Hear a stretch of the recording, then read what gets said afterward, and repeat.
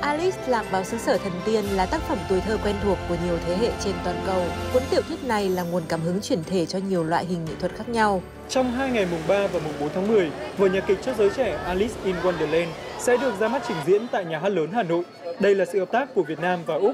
Các diễn viên trong vở nhạc kịch là các bạn học sinh, sinh viên. Alice in Wonderland đến với Việt Nam và chúng tôi đã tìm thấy rất là nhiều các bạn trẻ cực kỳ tài năng. Có rất là nhiều bạn lần đầu tiên được đứng trên sân khấu nhà hát lớn, lần đầu tiên được tham gia một vở nhạc kịch chắc chắn là sẽ gặp rất là nhiều khó khăn, đặc biệt là đối với dạng đạo diễn trẻ Lê Diệu My bạn mới có 21 tuổi thôi. Thế thì đấy là một cái thử thách và áp lực cho bạn.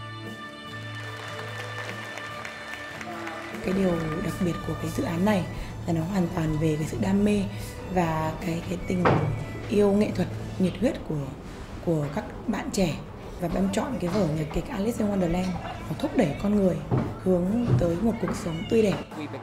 Chúng tôi muốn tạo cầu nối giữa những nghệ sĩ trình diễn người Úc và nghệ sĩ trình diễn ở Việt Nam, tạo cơ hội cho họ biểu diễn cùng nhau. Dù có nhiều khó khăn về rào cản ngôn ngữ, nhưng âm nhạc và điệu nhảy sẽ là ngôn ngữ chung để tạo ra sự khác biệt và những nét đặc sắc cho vở kịch. Mỗi khi các bạn trẻ cần những lời khuyên, cần trả lời những cái câu hỏi cho các bạn ấy thì khi đó chúng tôi mới xuất hiện.